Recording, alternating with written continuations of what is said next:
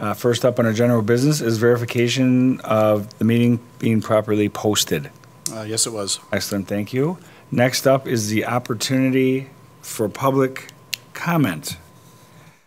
We're now at the section of our meeting where there's an opportunity for citizens to speak. Each individual will be limited to three minutes' time to speak in order for us to hear from the community and then get on to the agenda of our meeting. We will signal the speaker at two and a half minutes in order to allow a wrap-up of their comments. We expect all speakers to honor our time limit, refrain from using any inappropriate language in any manner, and be respectful in their comments. Speakers who do not meet these expectations may be prohibited from speaking at future board or committee meetings. We also expect that the audience will be respectful of the speaker and of the board and refrain from responding with verbal comments, cheering, applause, or other behavior that would detract from the meeting. Please note that no obstructions can be created between the board and the audience, and that the area behind the speaker and podium will be clear during public comment. Also, in order to respect our speakers and meeting participants, please silence your cell phones. All righty. First speaker this evening is Samuel D'Amico. Uh, Good evening. I'd like to thank the uh, FNF Committee for allowing me uh, the opportunity to speak. Uh, Tonight, I'd like to speak once again in opposition to the superintendent's signage removal policy. Uh, Of course, I do understand that this might not be the most appropriate uh, setting to do so, but I am taking advantage of every and any res- resource I have to voice my grievance against our administration. Uh, The superintendent and deputy superintendent are ignoring students, teachers, and community members that come to this, uh, that come to speak to this governing body uh, and voice their opinion uh, to their policy. What appears to be obvious is that we won't just go away after being ignored. On the contrary, we're going to keep getting louder. Uh, there are students coming to this very podium, almost in tears, telling you what your policy is doing to them, to their friends, to their schools, and to our district. And has the policy been changed since then? No. The policy has only expanded. Uh, every time a staff member or administrator of a school asks if this or that is okay or included in the policy, the policy keeps expanding to include what is not okay. Uh, it's almost as if the policy is being made up as we go. Uh, it's not very clear what the policy entails or why it entails what it does. It, it's very inconsistent, and yet we're left with it as the set precedent. What I hope comes from me and other students speaking so passionately about issues like these is administration actually hearing our voices and listening to what we're saying and taking action to support their students, something that isn't happening right now. The lack of justification and excess of titlement on the administration's part is the exact manner in which our district is getting tired of. While children are going to school every day uh, with the personal life experiences of the stories that have been told at this very podium, our superintendent and deputy superintendent haven't been able to justify their policy in intent or their policy in practice. While the Board of Education or administration, when the Board of Education or administration enact a policy or proposal, they are obligated to justify themselves and their policy until no more questions are to be had. In this instance, there are many, many questions still to be answered. Where's the scientific data to express this policy is going to make education more curriculum-based focused? Where were the questions to students and parents before this policy was enacted? Why is the rainbow color scheme perpetuating these unimaginable consequences that students, not rainbows, are facing the brunt of? Copied and pasted emails aside, why is administration actively lying and ignoring students, staff, and families? Why has there been no self-evaluation from administration to fix the policy themselves after hearing the student's voice? Administration is usually quick in getting involved in board businesses or the lives of students and teachers or what have you, but where is administration now? They are hiding in the dark because we caught them, and now they're standing like a deer in the headlights. I'm once again asking the superintendent to rescind his signage removal policy immediately and put the best interests of his students in his decisions in the future. Thank you. All right, our next speaker is Mr. Paul Reese. Good evening. Wasn't ready. Um, A while back, Karen asked to bring, um, I believe it was to FNF to um, the free lunch program, to- to bring that here back for discussion. And I don't, it's not on the agenda. I don't know if it's coming back here or when. Um, So, but I, since I love coming to FNF, I thought I'd come here tonight and speak about it. Um, So Greg, you asked some questions about, um, like, you gotta explain how I'm gonna feed all the kids if we're not gonna do this. Um, it is so easy for liberals to just like to virtual signal and wear a little pin on their chest. I carry, care more than you. I care more. I'm going to give someone else's belongings to this or another generation's income to this generation because I care so damn much. And it is, it, it actually is just, it's infuriating to me. The, the notion that, that you hand out a sandwich and you put this pin on, and it's not a guarantee that anyone gets it, first off. It's not a guarantee that this goes to a kid. The problem is a lot of it is drug and alcohol use at this level, and that after bar parties come home, and that those that food that is intended to, uh, for the kids gets eaten by other people, and that kid is left with nothing. But you got your pin, you did something, right? And um, then there's there's the fact that a lot of people who also struggle with income work during the day and have to go to work and they can't get there to, to get something that would help them out. There was, this isn't nothing new. In the past, the Romans had something called bread and wine where they gave people this. And what it did was it expanded the gap between the poor and, and the upper class because the upper class used it to get more ahead and the poor just had enough and they stayed poor. Which brings me to my other point is why do we need this? We have a public education that's supposed to be so great. Why is this needed? Why are people so poor that they can't feed their children if you're doing your job? I, I would like to know how that can be possible. Why are so many people needing lunch after getting a public education from, from Waukesha or anywhere else? It is, it's astonishing how many people need food after being educated in our public school system for how much money. And yet you leave every day and you think you've done a good job. You leave and you hang a pin on yourself, look at me, I care. But if that kid ends up dead under a bridge somewhere in two years from now with a needle stuck in your, his arm because he can't get ahead, who cares? What problem is that of ours?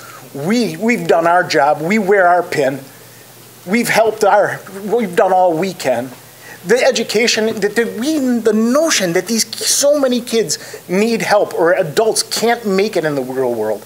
I work in a machine shop, and the lack of understanding of basic things is just, I, it frustrates myself when I have to teach them how to read a tape measure, how to, how to make, what's the difference between a negative and a positive number? Thanks. Thank you, Paul. Our next speak, speaker is Dave Richmond.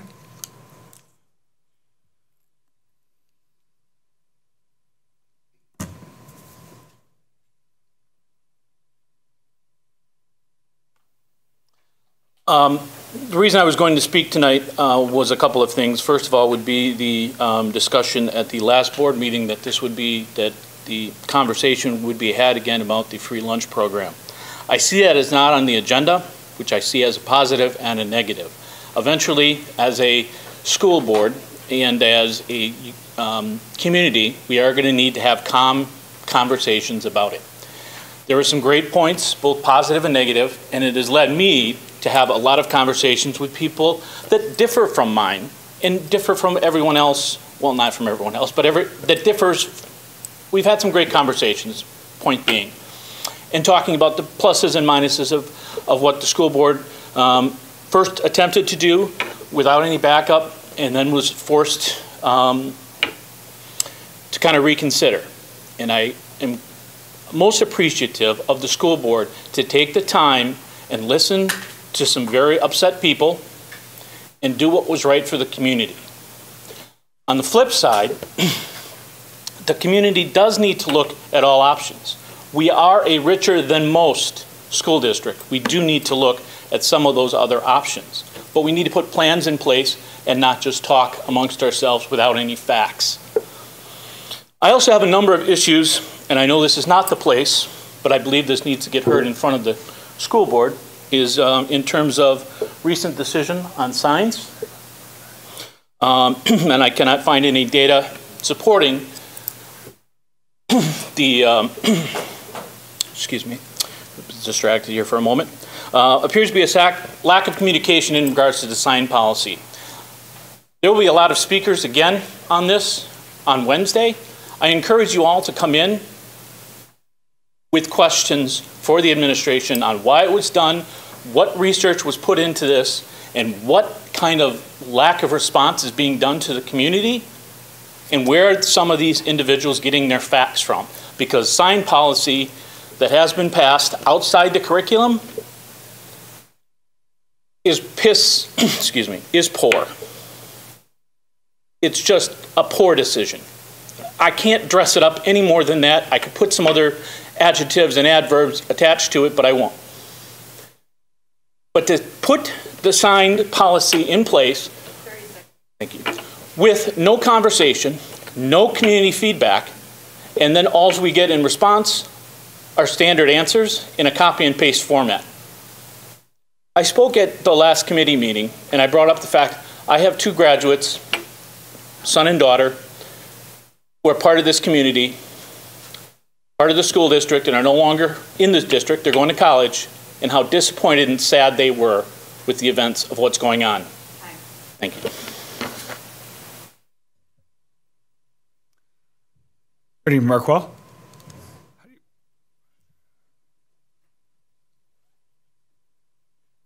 How do you, how do you pronounce your last name, sir? Moore. Moore, okay. My name is Michael Moore. Um, I live in Waukesha in the community, 1711 Elder Street. Um, I have, I'm a school teacher, and I have two nieces in the school district of Waukesha. Um, I'm just coming to speak on behalf of some concerns that I have in this district. Um, we are from Milwaukee, Wisconsin, and we made the decision to come out to Waukesha for um, better quality of life, and we knew that the education was um, that we were going to give our my nieces and nephews were going to be um, much better. So we thought. Um, there's been some concerns. Well, in the beginning, we were very happy with what we saw. You know, the education quality that they were receiving. Now, now um, there's some concerns that we have um, of things that they are learning in school that um, really is dumbing our kids down. Um, we can talk about Common Core. We can talk about all those other things that um, are really not best for kids. I mean, I'm a school teacher myself, and I'm just not happy with what some of the things that I'm seeing in the district of what my nieces and nephews are learning. Um, I just hope that we can get back to a place where um, Waukesha can become that community and be that epitome of uh, the example of why families flock here. Um, again, for better quality of life, better quality of schools, great teachers, and a great school system. Thank you.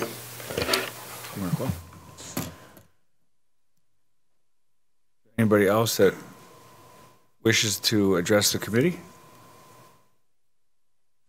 Seeing none, moving on to our action items. First action item up is approval of minutes from the September 13th, 2021 meeting. Looking for a motion?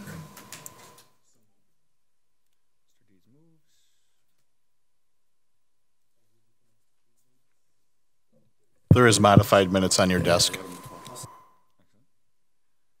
there any questions? Any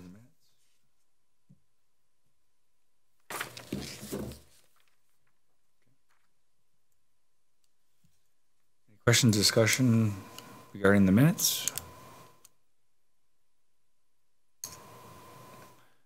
None, all those in favor say aye. Aye. Opposed? None, For it's four zero. Uh, Our second action item is approval of the vouchers. We have three voucher, pardon me, three voucher questions this month. First was on voucher 343298 for advanced planning technology for $6,412. And the question was, what was this for? And it's our annual fee for um, our service agreement with facility, for facility manager maps.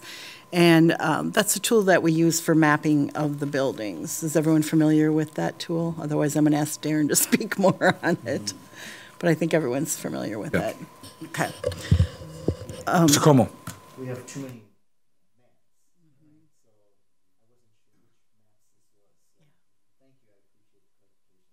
No problem. The second um, question was on voucher 343308 for Colectivo Coffee for $855.50. And the question was, is this for a fundraiser? And uh, it's actually for the girls' cross-country team, and the question really was, is this for a fundraiser to make the girls go faster? So I thought that was kind of humorous. Um, But yes, it was indeed for a fundraiser. It's the girls' cross-country team, and they sold one-pound bags of Colectivo coffee to earn money for the team. So did the school district buy $855 worth of coffee, or what was the fee for? Um, I believe that they sold the coffee and then they paid and picked up the coffee and Okay. delivered it, is I what gotcha. I understand it Gotcha. was. And the girls made money on the coffee They made a, per- yes, percentage of the thing. Okay, excellent. Okay, the next voucher was 343717 for Newsela for $10,800. And um, this is a service, it's an annual subscription service. This particular invoice was for Les Paul. Um, But it's a service that offers level and standards aligned informational content that is available in English and Spanish. And it's, the content is designed to engage students, facilitate differentiated instruction, and align to the state's education standards. Um, I read where they will take an article and they'll uh, rewrite it in five different grade levels and publish it out. There's free content available for people, but then there's um, curriculum-based um, content also available that's aligned with your school district. And that's what this is for. Now, last year, we had a district-wide subscription, and um, the sites paid for specific additional content, and I believe our- we'll see next, or November, um, yeah, that is next month, the district-wide subscription probably coming through, too. Excellent, thanks, Sherry. Is there any other questions related to the vouchers? Anybody? All right, I'd be looking for a motion for approval of the vouchers as presented. Thank you, Mr. Como. Is there a second? I'll second.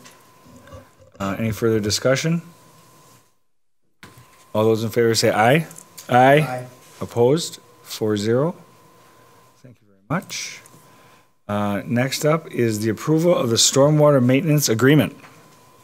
Yeah, this item was on last month's um, agenda as well, and there was some follow-up questions that the committee asked me to get responses on, and um,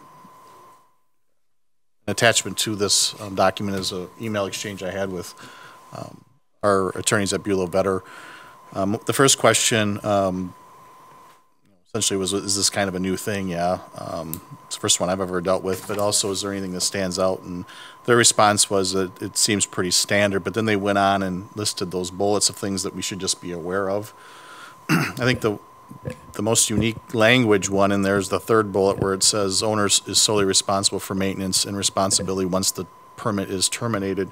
And They said that language is in there because normally you have a developer and then you have someone who buys the property.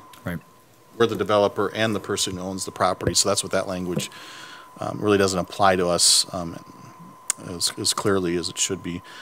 And again, the rest of them are just, um, I guess, points to know. We have a, an uh, obligation to maintain um, the stormwater plan um, as developed and some other things that go along with that. But then at the bottom, the question was asked, well, what's our um, responsibility if it's not designed appro- uh, appropriately?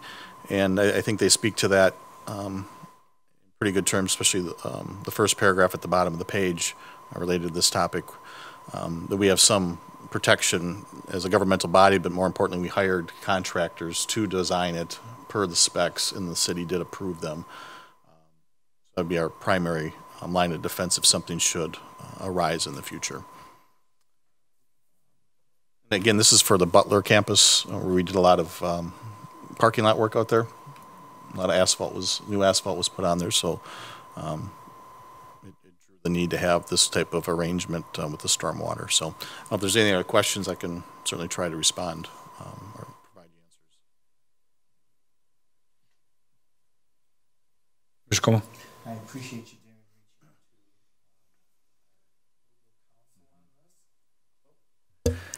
Thank you, Jen.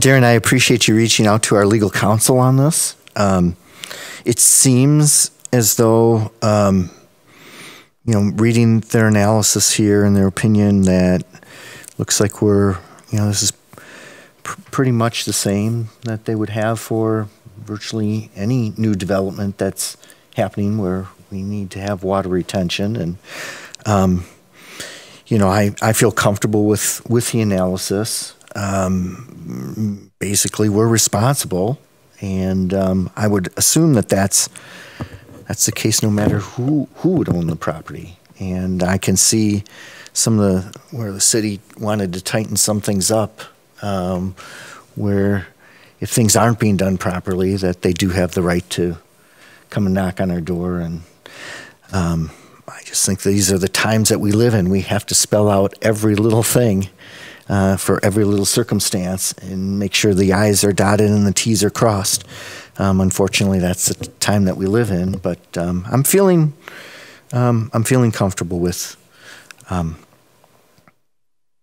with the agreement. Did we, um, who did we have design this stormwater?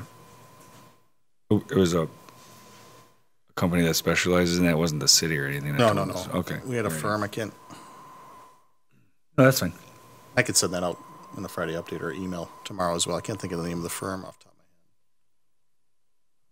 head. It looks like according to the lawyers with the whole immunity, governmental immunity statute, any recourse with the problem that we had would be to the people that designed it, right? That's what I'm reading. Um, and then they talk about permit termination. That's, What does that mean? That's that the developer by the Oh, owner oh, so when it goes from the developer to the HOA, terminates with the developer. developer, and then the subdivision takes over. Gotcha. So it, there's no term, there's no termination then. No, Okay. no, it's just, No, it's just a continuation. try of- to use blanket language for Yeah, different no, for sure. situations. Okay, I was just wondering if this is a limited agreement. So, speaking to that, does this, is this agreement in perpetuity, or is it, yeah, that's what I thought, okay. Yep. Unless something on the site changes and we have to redo something. Right, unless Right. there's a redesign, I would Yes, assume. okay. Whether they amend that or create a new one, I, I don't know the Right. answer to that. Alrighty, any other questions relating to our stormwater agreement with the city? Okay, looking for a motion. Thank you, Mrs. Ranchak. A second. Thank you, Mr. Dietz. Any further discussion? All those in favor say aye. Aye. Aye. Opposed? None, four zero. Thank you. Uh, Our final action item on the agenda is the approval of remaining referendum projects. The, uh, all the major projects, meaning the safety and security projects that we did and the improvements at the middle school level are substantially complete. We're, we're- we have some punch list items that we're going through. We have some supply chain uh, issues with some equipment, not much, but, but with some and some furniture. But um, we are very close to um, wrapping up the referendum of, of a few years ago. So as it stands now, and we've taken into account the punch list items that may be out there, um, and, and a few other things that we are looking um, at as options as we as we close out at these schools.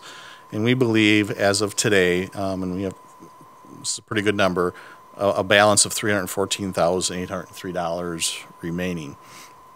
So um, again, all the all the work at the sites are done. So um, we're we're trying to identify well, what can we do to close out um, the referendum work um, that hon- honors the question because you have to follow the referendum question, and I, and I included that um, referendum summary that has the question at the top, and, and it speaks to um, work on the site and at various locations. So I think this certainly falls, but we're looking to use uh, two hundred sixty-three thousand dollars of this for the duct cleaning and uh, coil cleaning of our HVAC systems. Um, This has gone through an RFP process, so this is a bid, um, bid number. Um, So we're looking for that to be the next phase, and then by that time, we're getting down to, you know, less than seventy thousand dollars probably left. Um, And we'd like to do something along the lines of parking lot maintenance, something that we could respond to quickly, maybe get a lot of that work done this fall. One thing with the duct cleaning, we talked about that in terms of the ESSER um, funding, and we haven't, we've just started the planning for ESSER um, just a few weeks ago, is the prevailing wage issue, and this would take away that and save us about um, 15% um, on that work, so, on the salary portion Right. of that work. So we think it fits in well. It's timely work that we're looking to get um, going. This, this duct cleaning and coil cleaning um, and air balancing will allow us to start the um, migration of our buildings to MERV 13 filtration on the equipment we have that is um, comparable and works with um, MERV 13 because there is obviously more air restriction with a MERV 13 filter. Um, So I've listed all the schools that it would be would impact. And pretty much it's all of our schools, except for the three middle schools, um, their systems were all upgraded with the referendum work that's been done the last couple of uh, years, so there's really no need, um, truly no need to, to move ahead um, at those locations. So the ductwork and uh, coil cleaning and the balancing, that work would start um, later this month. We'd be done on second shift, so it wouldn't um, encumber the instructional day. And then we would expect by spring that all of, all of the uh, cleaning would be done and, and the conversion to MERV 13 um, uh, filtration where we can would be um, we would we would upgrade as we're going. Um, this work's all contracted out, um, so we would stage it to follow. Now, one question I was asked: um, we will probably lead with the elementary schools because I was thinking the there's no vaccine for the elementary level. Um, that we would start there and then close out with the high school level um, as we move forward. So that's our plan um, that we'd like to proceed with and, and get your okay. But we thought, even though it complies with the question, um, we thought we should come back and actually get approval. Excellent. Any questions? Mr. Dietz? Uh, Mr. Clark, could you tell me what kind of cycle the district is on as far as the duct and coil cleaning within buildings? Set schedule, or is it? No, I don't think there's ever been a set schedule. Um, my guess would be when work, when other maintenance work allowed for it, it may have been done, but there's, not to my knowledge, I can, well, for six years, there hasn't been a set schedule. So some buildings might not have had this work done for five or six years? Oh, yes. Yep. Okay, At least? Okay. Any other questions? If there are no other questions, we're looking for a motion for the approval of the remaining referendum projects. So moved. Mr. Dietz, is there a second? I'll second that. Mr. Como, any further discussion? All those in favor say aye. Aye. Aye. Aye. Opposed? None? Four zero? That concludes our action items section of the agenda this evening. Next up is discussion information items, and the first among those is annual school health and nursing report. Take it Thank away, you. Mr. Cook. Yeah, so um, annually uh, we report to the board uh, through what used to be the safety committee and now the uh, finance committee. Um, just the overall work uh, from our nurses uh, and our health room staff over the course of the year. So, uh, included in your board packet was the eight page report uh, about the activities of the nurses and uh, who we have and what they do. Uh, last year, just to summarize, was a very busy year uh, with COVID in our schools. Um, they stayed very busy, you know, helping us with our planning, with our monitoring, uh, with the implementation of our mitigation plan. Um, they also handled the training around uh, diabetic care, tube feeding, um, and our uh, students who have more significant health needs, allergies, and such. Um, they are excellent uh, at what they do. Uh, they provide ongoing professional development across our sites to make sure that our kids are cared for while in school. So I'm here to answer any questions you have uh, on the report. Um, if you have any. Any questions on the nursing report? Mr. Como? Um, Thank you, Patrick. Uh, Yeah, Joe, um, first of all, I appreciate, this is a relatively abbreviated report compared to some of the ones we've had in the past where, um, actually, I appreciate the abbreviation. Um, I'd rather have it be more succinct. Um, It's always been fact-based, uh, and there's a lot of facts in, in this. Um, the complexities of what our health rooms uh, specialists have to deal with seems to continue to become more complex over the years. Um, I remember 19 years ago when I saw the first report, there were some things that we didn't even take care of back then that we take care of now. Can you can you talk to any potential trends over the last couple years that you've seen um, that that have changed? Yeah, I mean, we have seen, uh, we saw um, about uh, eight years ago, uh, we started to see an increase in students who had uh, diabetic care needs. Uh, that's leveled off over the last several years to approximately 50 students in the district uh, who are receiving daily cares in the school. Uh, at the elementary level, that starts out very hands on. As we get to the high school level, students begin to self manage. Obviously, they're getting older and they can handle that. Um, we have experienced for uh, probably the last five or six years, uh, a steady increase in the number of students with allergies uh, in our schools that we have to monitor and make sure we have a plan in place for, uh, including being able to administer emergency epinephrine if needed. Um, and then uh, the number of students with asthma has stayed consistent over time. Um, students uh, are able to carry a rescue inhaler with them while they're in school, uh, but from time to time we do see a more significant asthma attack in schools that our health room and our nurses have to respond to. We have also uh, uh, our the number of students, and you can see it. I think it's on the third page of the report. Uh, the number of students with the gastrointestinal disorders has increased. Um, you know, to the point now where we have th- 13 students who get uh, G tube feedings during the school day, and the associated. Um, uh, uh, training that's you know with that and making sure that we have staff uh, who know what they're doing. Um, we're very hands on with our training early on in the year so that we know our kids are taken care of throughout the course of the year. And some of the some of the items take a fair amount of time. Correct. Um, you know, it's not like okay, um, excuse the student for a, a quick rundown to the health room and you'll be back in a minute. Um, could you talk a little bit about uh, some of the procedures like diabetes that take some time and Sure. Uh, you know, our diabetic checks can take, you know, anywhere from five minute quick check, just depending on the age and the need, uh, to more, you know, 15 minutes or so. Um, those are scheduled, you know, primarily it's a very he- lunch heavy time of the day uh, when kids are getting monitored, just generally in mass, uh, the lunch period, making sure that everybody is, you know, at the right levels going in to lunch and then after lunch so that we can maintain stable blood sugar while at school.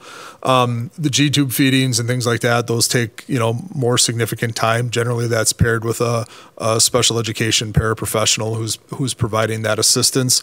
Uh, those cares can take, uh, you know, anywhere from a half hour to an hour, just depending on the student need. And those are ongoing day to day things. So uh, the training that the nurses do with our health room staff, but also with our special education paraprofessionals, uh, you know, it's it's it's essential. It's ongoing. Um, they are, you know, when the school day starts, they don't have a lot of what we would consider to be office hours. They're going from school to school, location to location, classroom to classroom, making sure the kids are taken care of.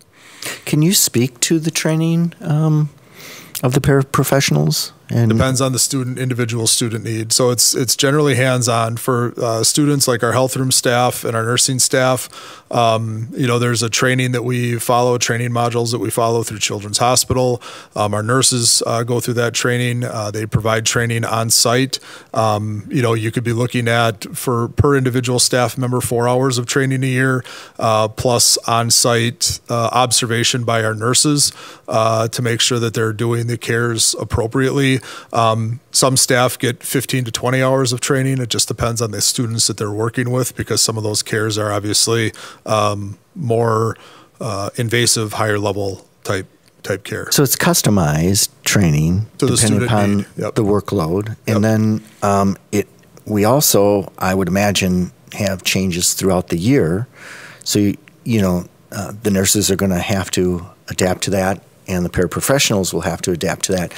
Um, is do we see a, a lot of change throughout the year, or is it we kind of get the snapshot of who the students are and Yeah, I mean, our students, um, I to categorize it as a lot of change. We do see change over the year. Um, our students, you know, you hit those ages where, um, you know, middle school puberty is setting in, the body's changing, uh, so we have to make adjustments, you know, throughout the year. We get students who are newly diagnosed in the middle of the year.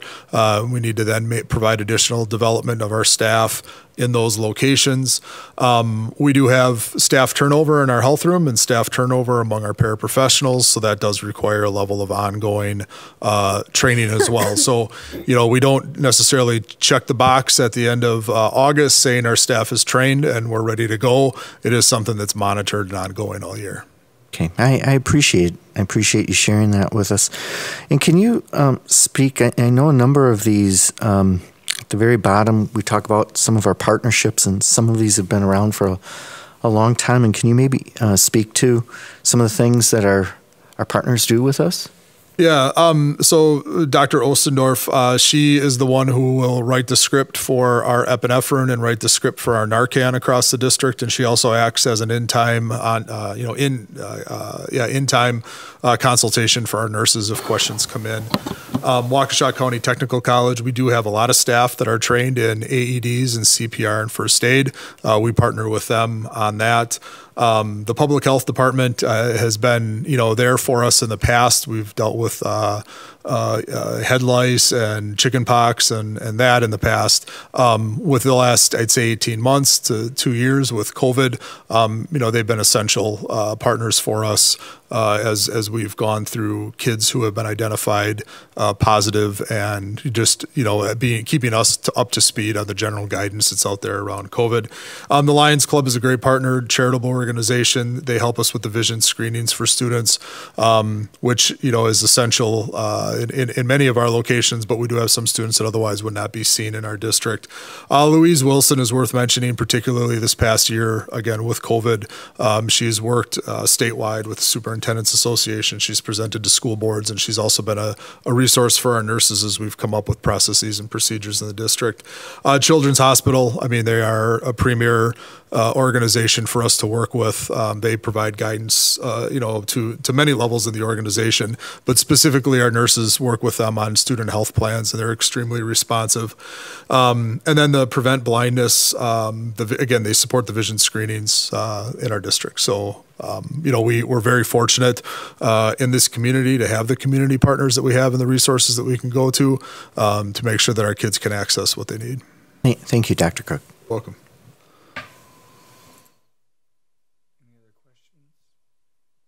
Related to the nursing report? Mr. Dietz. Uh, Dr. Cook, could you uh, talk to us a little bit about the communication that exists between uh, health room person and the district nurse? let's say that something happens in the building that requires a nurse's attention. Obviously, there's probably a good chance the nurse wouldn't be in that school that particular day. That's usually how things happen. But how do they communicate? How does that? Yeah, so the uh, health room staff all have access to the nurses' cell phones. Um, so the the nurse will be on consult. Uh, if there's ever a big enough you know big enough situation uh, that requires you know an immediate nurse, they get in the car and they head right over there. They they also know that they're never in the right place at the right time. I mean, that's kind of the you know Murphy's law, I guess, on it. Um, but between the cell phone uh, uh, consultation and then the immediate response, we are fortunate. We do have three nurses in our district. They're phenomenal at what they do, uh, very well trained, and they do an excellent job of communicating. So they're they're responsive. Um, you know, just because we have nurses doesn't prevent us from calling 911 if we need to. Uh, so we can reach out for emergency assistance if it's needed. Um, but you know, our health room staff is extremely highly trained as well. Um, you know, they they know what they're doing in the event of an emergency. Um, they're trained CPR, first aid, AED, epinephrine, uh, Narcan, uh, and the works. And we do also have backup staff in the schools. Uh, the building secretary, administrators are trained in a number of those things. So if an emergency arises, uh, you know, we can certainly reach out to 911. Uh, we are fortunate that we have uh, the SROs at the middle and the high school level, um, and uh, and our nurses, you know, are are there you know, as, as soon as practicable uh, in all situations, but also on the phone with people if an emergency is, in, in, is needed. And does this district have um, like an emergency um, response team within the building? Yes, they do. Okay. Yeah. Which would consist of? Uh, trained staff, hour by hour, that are available, plus administration. That would include uh, training on AED? AED, epinephrine, um, AED, epinephrine, CPR first aid, and Narcan. And we have AED units in every building? Yeah, uh, two at the secondary level, uh, one in each of the sports areas at the secondary level, uh, and then one at the. I'm sorry, two at one at two at Butler, two at Les Paul, um, and then one at each of the elementary schools. So, yep. We also have Narcan uh, located in each of the um, AED locations. And then just one final question: Could you just give us a brief overview of um, Medicaid billing? and what that entails and why that's important for the district. Yeah, um, so uh, Medicaid billing, uh, our nurses assist with that, as do special ed paraprofessionals, uh, speech and language pathologists, OTs, occupational therapists, physical therapists, uh, special education teachers. Our bus company uh, supports that. And uh, what it is, is a series of services that are Medicaid eligible, so such as speech and language service, counseling services, um, attendant care services, which would be the personal cares, uh, the toileting and things, uh, plus uh, safety concerns in the schools. So if you have a student who has elopement issues, you know, a staff member could bill for that. Uh, transportation is also a billable cost. So what you need to have is two billable costs, and then the associated staff record that. And we have partnered with Compass Care now for a couple of years uh, to manage that Medicaid billing for us. So we go into the Compass Care system, we record the services, the amount of time, we make sure that that's supported in a student's IEP. Um, what that does for us in the end is it gets us reimbursement uh, through the Medicaid system to our general funds. Um, you know, brings dollars back into the district um, for you know for the business office to apply to our budget. Do you have any idea about what that number is? Sherry, didn't we get a check last year for $800,000 or something like that? Average. There's three different components to the money that we get. We get the monthly claims reimbursement, and um, I don't have that figure off the top of my head, and that all goes into Fund 27. But then there's reconciliations at the end of every year, and those come retroactively. And last year, we had close to a million dollars in the two components. One is administration and one is services. And between the two checks, it was close to a million dollars. And um, that goes into the general fund because it can um, impact our um, MOE in special education if it gets put back into the current year. It can um, hurt that calculation. Struggle with the budget's the timing of the payments. Just never know. Yeah, you never know. Thank you. You're welcome. Yeah.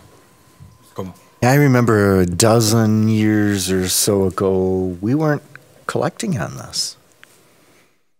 Yeah, we we collected. There was a period of time where we collected very little. Um, uh, we began to ask the question, particularly around uh, our transportation, because we do transport a lot of students, and how how could we begin to capture that attendant care uh, transportation billing for those kids.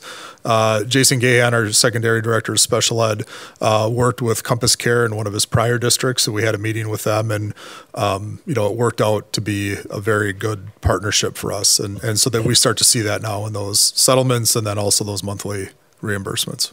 Yeah, I, I think the effort is definitely worth it, and I mean, there's significant dollars, and um, and we should be receiving those dollars.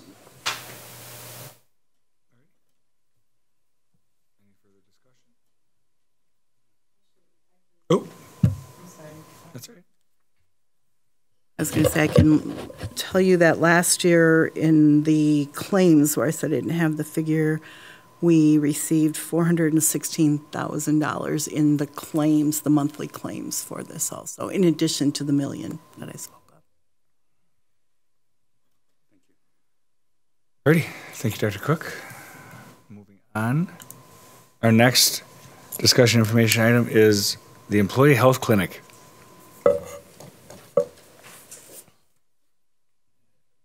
Come on in, guys.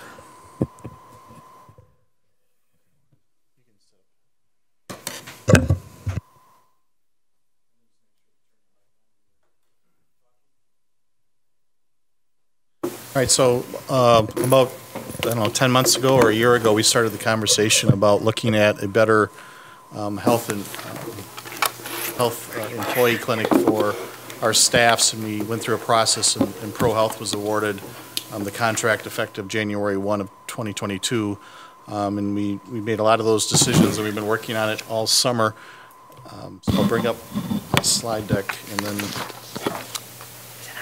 just wanted to give you an update on, on where we are in the process and what locations we've um, selected, and kind of recap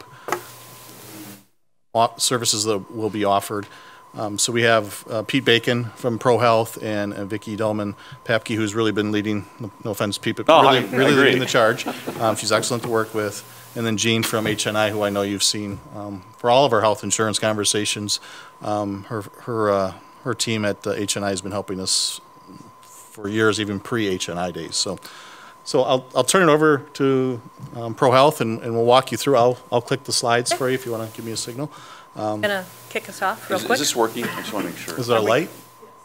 It It is working? good. Okay, okay. All right, well, thanks, well, thanks again for uh, inviting us and and having the trust in us to, to help you with your employees and such, and we're really looking forward to it. Um, We've got a, a lot of people have been working on this so far, the school district's been absolutely fantastic to work with, and I think we got a great, uh, great uh, solution here, and we're really looking forward to getting this off the ground, and, and uh, once again, thank you for, you know, your confidence and the opportunity to- serve, to serve the population, so. With that, I'm going to turn over to the person that is doing all the work, that's Vicki. And uh, please, if you have any questions, please feel free to, to jump on in at any time. So thank you. Thank you, thank you very much. Um, So I will go to the next slide, Darren. Um, Our first slide here is really, um, really to reiterate um, the functions or the outcomes that you all were looking for when you sent out the RFP, which was to increase your patient access or your employees' access to health care as well as their dependents, lower costs, look for high efficiency and quality organizations to partner with, and effective use of technology. And um, we demonstrated that um, through the RFP process and interviews and stakeholder had here with you over last winter and the spring. I'll go to the next slide. So we wanted to kind of dive a little deeper into some of the details because we're in what we call phase one of our process with you and that's uh, kicking off our health risk appraisal and influenza um, process um, actually Friday. Um, So we've been working with the district all spring and all summer, including uh, your broker. So the, the district has chosen two locations, and I'm going to show you a photo in a minute, so hang on to your uh, PowerPoint here. Um, So our near site clinics will open in January. You've chosen two locations, our Brookfield location and our Waukesha Memorial location, which you can kind of throw a rock from here um, at our Waukesha Memorial location. Total of 40 hours a week, um, so it's, it's going to be 40 hours total. You could use 30 on one campus and 10 are on the other. Um, We are going to be really super flexible with that. Some of the options include in-person care and virtual, and we're very um, happy to um, be able to provide virtual um, care and care um, as your um, employees have just gone through what our MyChart experience is in, in signing up for the HRA and their inf- influenza vaccine. Um, Some of the services in January will include primary care and prevention, and those visits are like physicals, a medical issue, or chronic care like hypertension management, etc.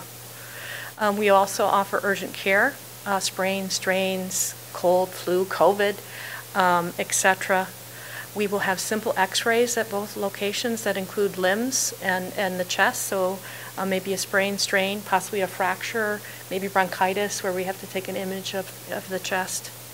We'll have some basic lab tests um, that are uh, included in the agreement. We, we can order any lab tests on your employees, but part of the agreement are, are those nine lab tests that are frequently used um, in most primary care and preventive care. We're also offering navigation services. Many folks are, are truly not connected to a PCP. We'll help them connect to a PCP.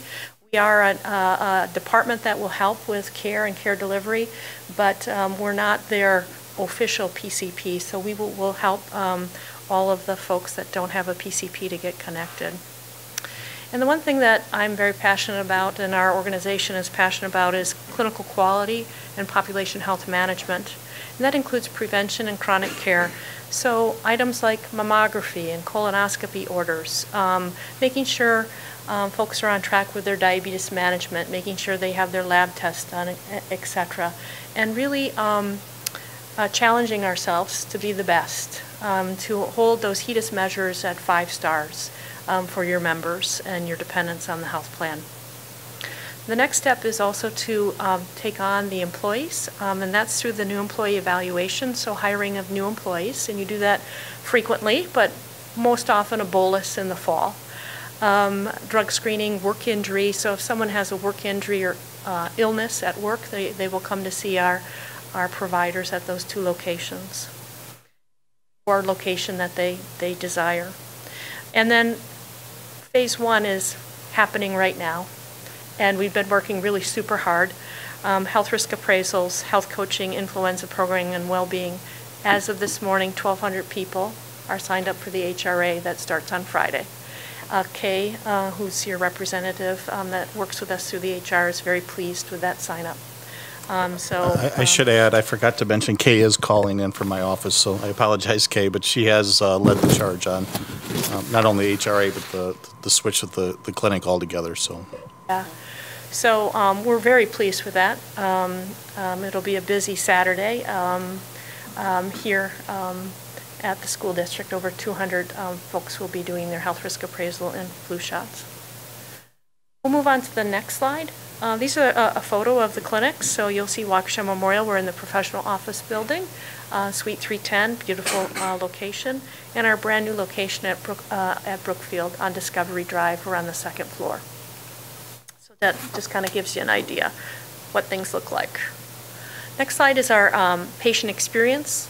Um, It's really our promise, our patient promise around access, the visit, and what happens after the visit. How to schedule an appointment, phone or through MyChart, and now your team knows how to use MyChart, so bonus um, how to do this. Um, So very easy to do. Get your, retrieve your records, etc. ask a question. And then the visit obviously can be face-to-face, walk-in, or virtual.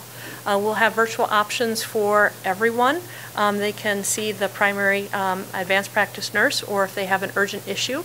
Our urgent, um, our urgent virtual care is open 8 to 8, Monday through Friday, and 8 to 4 on Saturday and Sunday. So a lot of coverage there if they don't want to come in and see the provider. They can address all issues, we can document in there. Um, They will receive information either through MyChart or paper copy, depending upon what they desire.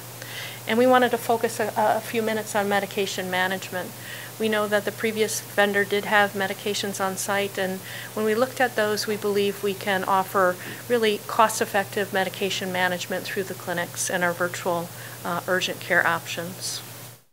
Our after-visit summary, very proud of, and this um, is really surveying um, the employee or dependent or spouse that comes in to see us. They're going to be um, texted uh, several questions, you know, how was the service, anything we could do better? That immediately comes back to us, and if there's an issue, we can correct that. We also can, at the time of the visit, if they need to see a, a, a physician um, outside of our, our um, services, we can help arrange that, whether that's a specialist or primary care. Um, Reinforcement of the use of MyChart, which we did through the HRA sign-up. And then we're also going to be alerting uh, anyone who's in our record um, that they're due or overdue for testing, whether that's prevention or chronic care um, through MyChart. So we're, we're trying to really push people onto that technological, which you all wanted to see, um, and get them using that um, as efficiently as possible. We'll go to the next slide. I want to talk a little bit briefly about implementation. I know our implementation for the HRA is October and November, but we started many, many, many months ago. And like I said, um, over 1,200 people are signed up, and probably about 600 of those folks signed up for MyChart. It was their first experience with MyChart. Um, so um, it, it went really smooth. Um, we're going to be on site for about a month. And then in November, um, the team, that includes Pro Healthcare, your broker HNI, and, Kay and team, um, meet regularly, and we will be um, starting to kick off our second phase in November, which is the promotion of the clinic.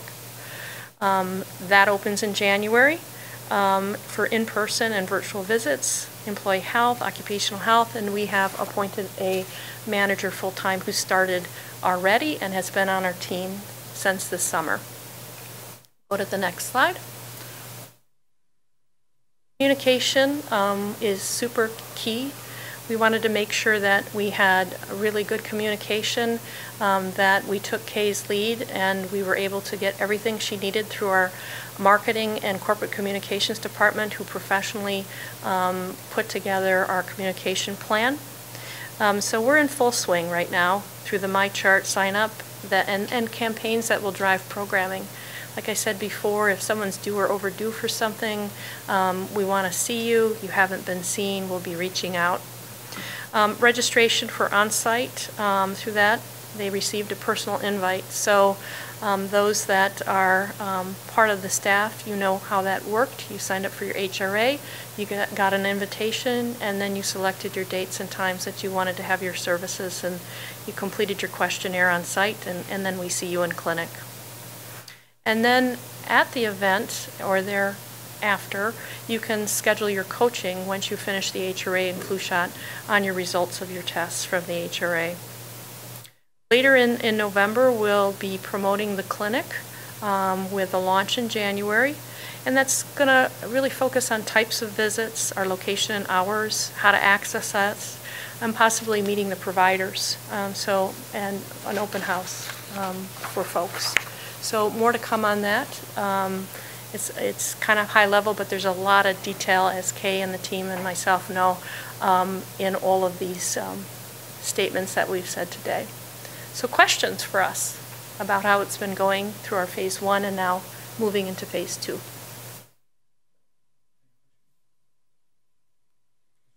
Thank you, Patrick. Um, can you remind me on how we chose the two locations? Sure. Um, this was your team, um, um and we looked at actually um, where people live and lived and worked, and there was probably three options, and they chose two out of the three. Okay. And we always have the ability to, to look at more locations uh, over time. Are there any restrictions on that? Um, I know annually we're going to look at that, um, but let's say mid-year we think there's a demand, let's say out in the Mukwonago area. Sure. Or, Absolutely.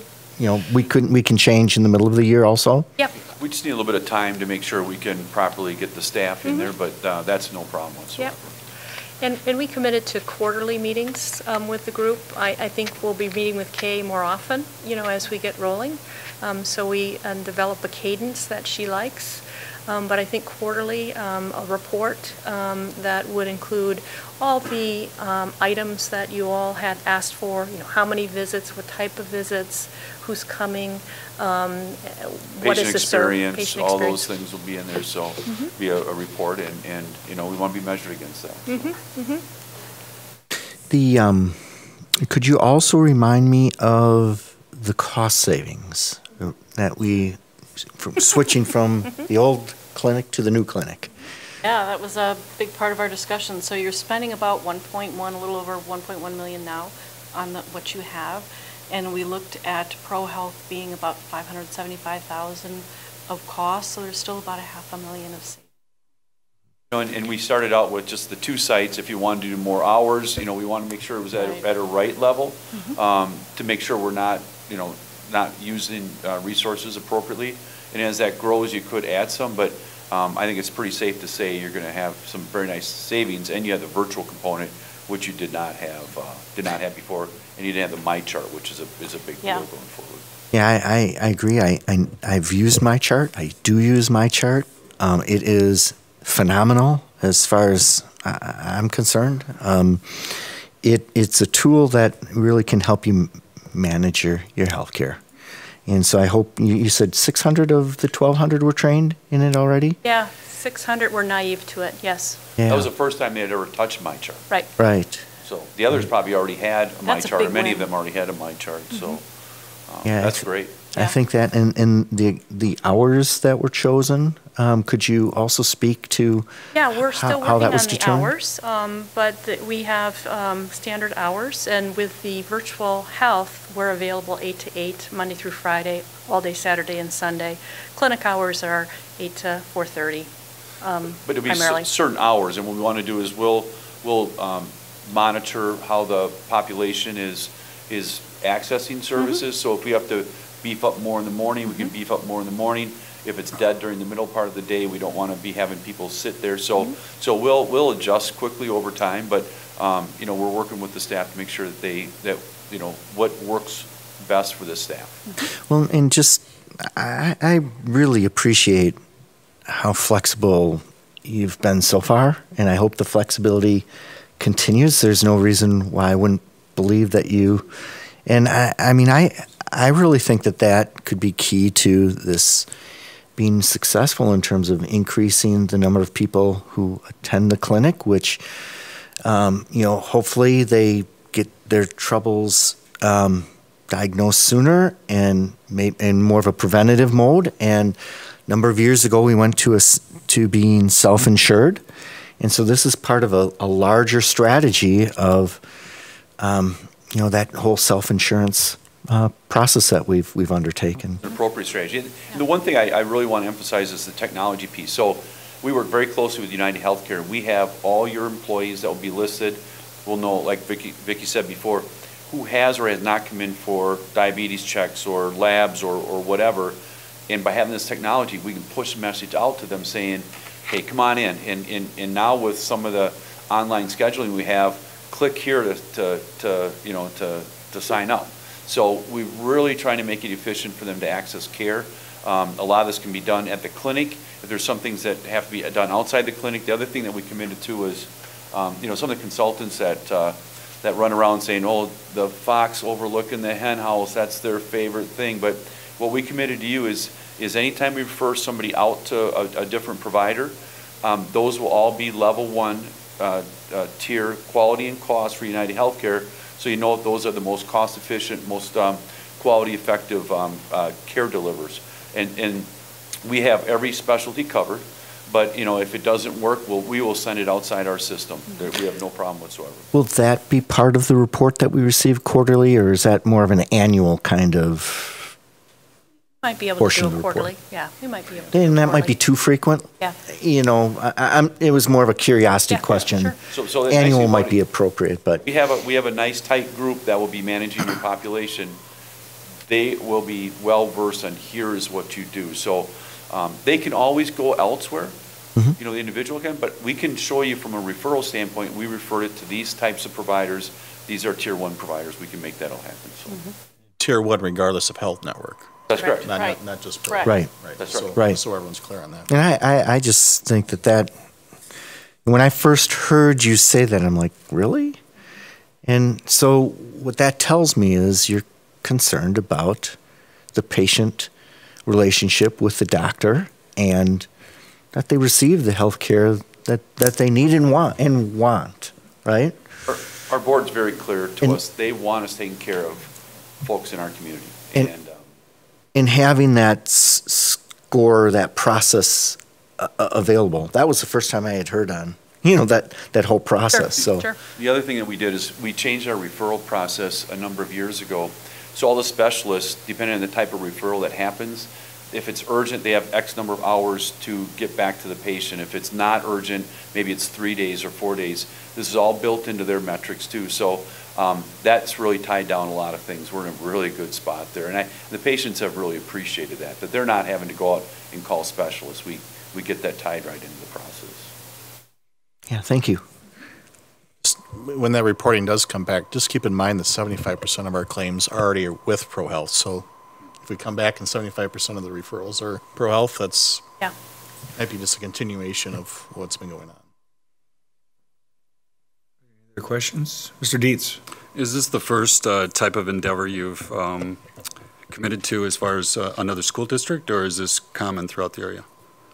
Well, over the many years that I've been with ProHealth Care, we've worked with other school districts um, and manufacturing as well to do something very similar to this. So we do, we do on-site nurses. This is the first near site, well, we did it with Near Generac, yeah, I guess. Um, So, yeah, it's, but it all works the same, the same way. Um, It's, everyone's linked into Epic. All the providers in southeast Wisconsin are Epic, so Mm-hmm. this is going to work uh, quite nicely. So we're, we're very excited about this. And any surprises so far, or things that came up that No surprises that we haven't been able to handle. You know, We've got, we've got some programming in Epic That's that a good we're, that's, that's in process, and that will all be done here shortly. So I'm very excited about that. The, the system's uh, very interested in making sure that this is a, is a, is a great relationship for all. Thank you for all your hard work on both ends. Guys, hard work, so. I- Over at Kay. She's That's right, a right, lot of Kay. hours in on There we go. But it's interesting, they've, they've all developed a very good relationship. And, um, Yeah. you know, one of the things that we committed to you is that we're not going to waste your staff time on a lot of things. You know, You hired us as professionals, we're going to do it. There's some things that we want to get feedback, from the district, but we want to present you with the, with the answers and the solutions and, and make sure we're aligned. That, that's what our goal is, and, and, you know, the, the staff, you, you know, you, you folks aren't, you don't have all this extra staff just sitting around looking for nothing to do. And, and so, you know, this, these are things that we do every day, and uh, we want to make your lives, your lives easier. You mentioned, uh, excuse me, uh, reporting. I was thinking maybe um, a report through June 30th, the end of our fiscal year, meaning it might not get to F and F until August or September. At 90 days. Um, Just to give you an idea of where, where we're going, because I don't know if we'll have anything, if you're, if we're having numbers just off the charts right away, I'll I'll certainly be sending that out in a Friday update. But um, in terms of a formal report to this committee, I would guess late summer or early fall. Any other questions? Comments? Excellent. Thank you very much for all your hard work. We you. appreciate it. All right. Have a great night, everybody. You too. Thank you. See you later.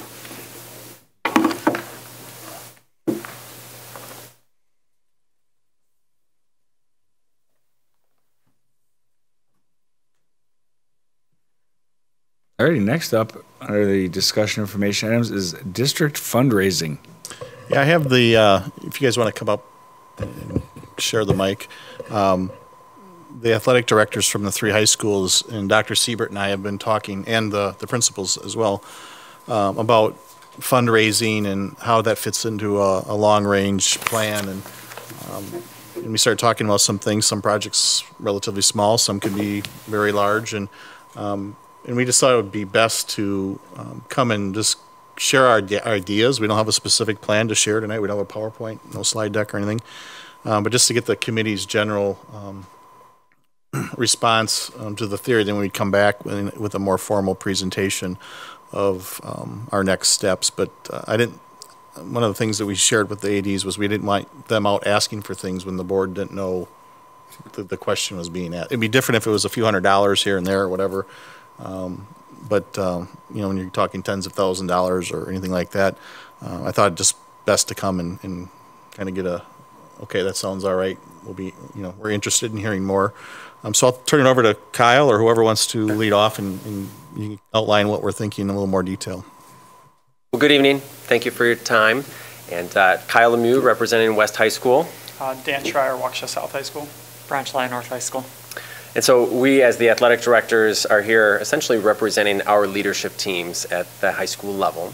And uh, we come before you because we believe that right now is an appropriate time to start this process and conversation of what it would look like to have a strategic long-term plan around facility improvement with the school district of Waukesha. And so, as athletic directors, we have the unique privilege of traveling all around the area. We get to see inside and out of every other school system and district, uh, near and far. And so, if uh, you know you're anything like an athletic director, you're constantly thinking, "Oh, I like that. I like that. I would do that a little differently." Well, what about you know, and how could that look uh, best in Waukesha? And so, um, likewise, we know that our students, our parents, our community members, they're taking those same trips. They're having that same thought process as they go through. And so, um, our hope in visiting the committee tonight would be first to, to share our passion for this. Um, I think if we could jump across the table, we would. That this this is exciting work. This is the positive, really good stuff that we want to dig into. Um, and then, secondly, to uh, openly request permission, as Darren had said, to investigate this further. And what would this really look like to be done well with the school district of Waukesha? I think as we've started to peel back a few layers, uh, we have found that we will need to ask and find answers to many challenging questions. We will need to seek some insight and resources from other communities that have done a great job of this previously. I think we'll need to take a close look at the current policies that we have in place when it comes to acquiring funds and make sure that they are in alignment with what we would hope to do. And then ultimately, our goal would be that as a, a committee of sorts, we could bring a proposal back to you uh, with all that information in hand to uh, essentially put out um, for everyone to give feedback on how this might look best to start down this path as a school district. Uh, we fully acknowledge the complexity of this work after sitting around the table a few times with uh, groups of us. This, this in some ways can become very big in a hurry. And so our goal, our task would be uh, to put it into a comprehensive plan that, that works for all. Um, and I think we have found in Waukesha over our, our history of projects that we are stronger together. Being able to do things with a unified approach is great. That being said, we also have the understanding that we have three unique schools that have potentially different goals and different priorities in place at this time. So striking that balance is something that we've already had plenty of conversations about. But before, like Darren said, before we begin to uh, run around asking for the moon, um, we want to be sure that we are open, transparent, and certainly gathering your feedback as we uh, would hopefully be able to begin this work. Any questions? Gentlemen?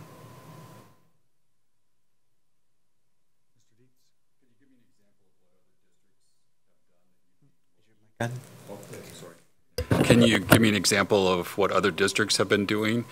Uh, Maybe a couple that you would like to emulate and look out, look out and say, or seek out some more information to better bring things together for your proposal? Sure. I, I I think there's a few different um, avenues of sorts. So when you ask that question, one thought that comes to mind is what we get to see within our Classic 8 conference and some of the upgrades that maybe a Muskego has made recently and how when you walk into their facilities, there's a, there's a bit of a wow factor. You look at Mukwonago and what they've pulled off recently, whether it's their auditorium or their stadiums or their fields, um, there's, there's a feeling that when our kids right now, when they go to those places, they remember when they went there. Like, that was a special place. Like, wouldn't that be neat to have something like that in Waukesha? Um, there's other communities like Hartford right up the road that have launched into uh, similar types of campaigns. And so we're hoping to kind of take some of their great ideas when it comes to how they're attempting to partner with their community. You know, what does it look like to have mutually beneficial um, positioning where, you know, we're all in this together. And um, so I, I, think there's some examples there. I think when you look at some of the other larger districts across the state, the Kenosha's, the Racine's, um, and even up in the Fox Valley, those districts have also had some recent success in upgrades that we'd like to dig into further. And when you're talking about fundraising, are you talking about uh, community involvement as well, as far as um, people are sponsoring sponsorships, or you know, where does it where does it end? I guess, or does it?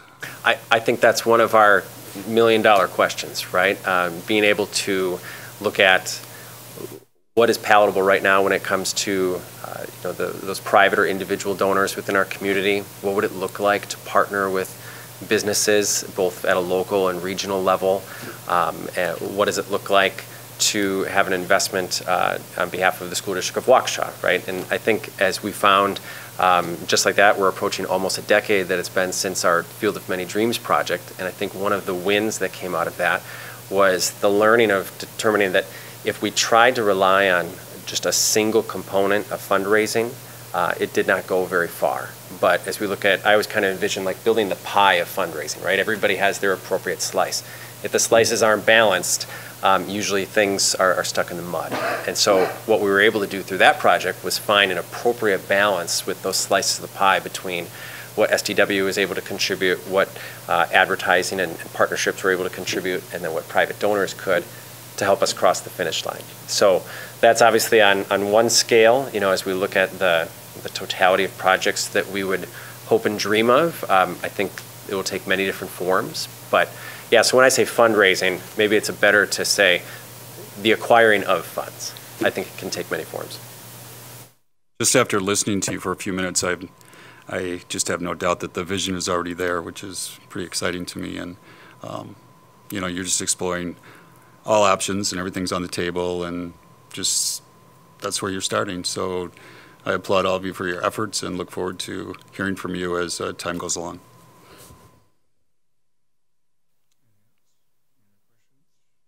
Ms. Thank you. Well, we're kind of starting at a negative because South's uh, or our um, turf fields still weren't paid for, so we're kind of at a negative balance already because that didn't fully come through yet, so maybe we can start with what we still owe, or is that wiped clean now, Darren, do you know? that was wiped clean this last fiscal year. So we just absorbed that, right? how can we not do that again? That's one of the things that we've talked about, and certainly the ADs bring a vision, and I, I'm hoping to bring structure. And if someone commits to making payments five years down the road, it is hard to hmm? fulfill that commitment. Um, but I think um, we learned a lot from Field of Many Dreams, good and bad. I think, um, and I think there's some safeguards that you can put in place to better ensure that things like that don't happen. Is there a guarantee that those things type, you know, a, a business could go out of business and they're halfway through, those things happen. Um, but I think we can pos- position ourselves to uh, minimize that. And mainly, I want, I just want to, what I'd like to see is just a system that the board knows what we're doing and is on pace for that because it's easy to question it afterwards. You know, I, I think that's, you know, we all question the field of dreams and the, the areas we may have failed in a little bit, but um, we won't make those, some of those mistakes again, that's for sure. Not to overlook all the wonderful donations we did get, and as Mhm. far as go, just don't want to, I guess, gloss over that and pretend it didn't happen because it did. So I just want to put measures in place, as you Yeah. said. And, and we've, we've met two or three times now and we've talked about that very, very thing, some of the shortcomings of that arrangement that we had. Um, But again, most of the people who committed money did pay. um, for those people who May be listening at home. Mr. Como. Yeah, can you put that in perspective? So what was our total amount for the fields and what was, it was a pretty small percentage that we weren't able to collect. And to be fair, um, there's things that just happen sometimes. So for example, the paint didn't stick to the field that we thought we are going to be able to have stick to the field. And some of our private donators, that was important to. And so stuff sometimes happens, but from a dollars perspective, remind me roughly what that percentage breakdown was of what we couldn't. Yeah. I believe the project. 1.6, yeah.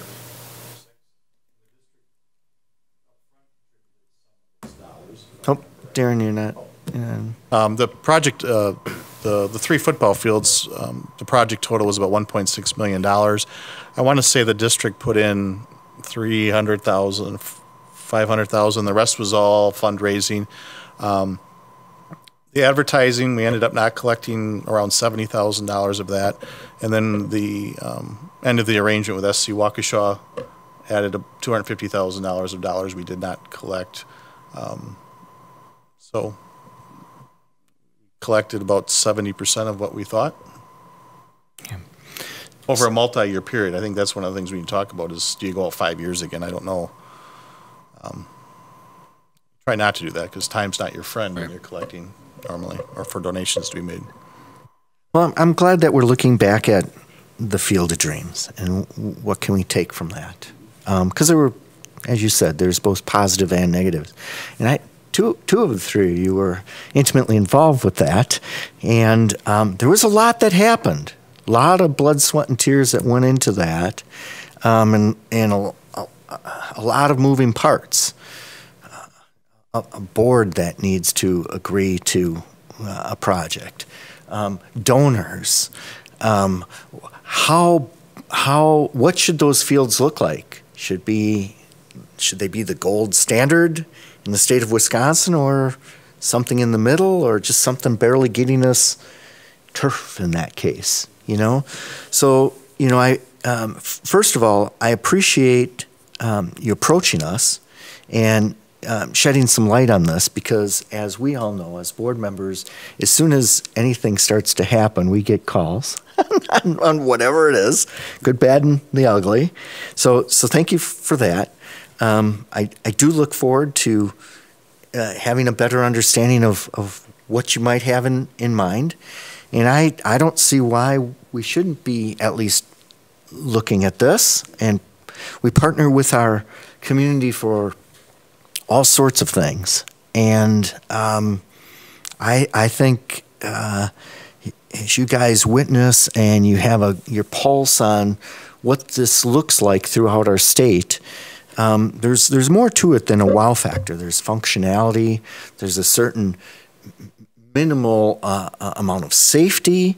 Um, and so there's a lot that goes into it. It's not just a, a wow factor. So I appreciate you guys coming before us tonight and seeing, seeing if we can get something going. We appreciate that. I, I would add with the, the turf project, uh, one of the interesting parts of that project at that time was uh, part of the difficulty of the conversation was that it was seen as a want rather than a need, and it was seen as even potentially excessive, right? Well, here we are, seven, eight years later, and it, it is the standard, it is the norm, and I am so thankful that we transformed our facilities the way that we did, um, because you know I think in all these types of projects you're going to look at what the potential cost is, and I think the way that I've chosen to reframe it is what the investment is, because those dollars that were spent have turned into hours upon hours of field use and activity from a curriculum standpoint, activities with our band, um, you know, our school as a whole, the events we're able to have. Before we had that, it felt like it was Fort Knox on our grass fields. And Yep. you only stepped on them at certain times. Yes. And so Very restricted. short, short had to be. adding a new gym um, or something to that effect. So Brian really wants a new gym, um, but uh, For- Not to interrupt, for the record, Brian has one less gym, one bas, one less basketball court than everyone else. Thank you, Darren. this isn't all our committee notes. Um, It's on the record now, thank you. but uh, it, it at the time was an interesting conversation because of how it was viewed. Well, now we have the uh, the ability to fast forward to present day and see that it was a really wise investment. And so, part of our job, part of our goal, is to forecast when these wants will become needs and make sure that we aren't feeling left behind. Um, and making sure that our community understands when and why we're making these movements when it comes to these improvements. All right, anything, okay, Mrs. Rajnicek. One last comment. I remember I was on the board for a few years, and um, no one but Paul would come to the meetings, and um, you could hear a pin drop in here most of the time. And that, this boardroom was packed out the hall. Every coach got every, every player and their parent, and I think probably their grandparents and aunts and uncles were here. Um, and people really were engaged to want that. So, um, yeah, I think it's going to be a popular, um, a popular thing to do, and you guys are going to really see the involvement. But, um, yeah, I, I just remember so many people being here and really, really wanting that turf field. So, as you said, many years later, it's, it's been used well. Mr. Dietz. I just want to thank uh, the athletic directors for even uh, going, going here. Um, You know, I know that uh, your job com- is very complex and you have a lot going on, just a lot of evening activities that uh, add up to several hours a week. Um, And at the same time, um, you're able to fit this in and, and think about uh, the bigger picture and think about the students and staff that, uh, and the community that can utilize, um, you know, some new things like this and different possibilities that are out there. So, um, and at the same time, you also have um, a role as an assistant principal. So, very complex, very high de- high demand, a lot of hours, um, but you're still coming to this board, uh, looking out for the best interest of our students and staff, and also um, looking to the future. So, I want to thank you for that. All righty. Well, thank you very much. I know there's a lot of hard work. Um, the only comment I would have is we had it with the, the Field of Many Dreams or is equity. We don't want one school getting a ton of stuff and the other ones that can't, don't have the, the funding to get it. So I know that's always tough to work out. Um, but I know you guys will. But and you, you missed one school. That's fundraising. I hear Kettle Moraine might be fundraising for some stuff. So, uh, might want to look at them, see what it because it's not going to be bake sales and tennis tournaments for the stuff that we need done in the district. So it'll be a lot of work. Excellent. Thank you. Thank you very much.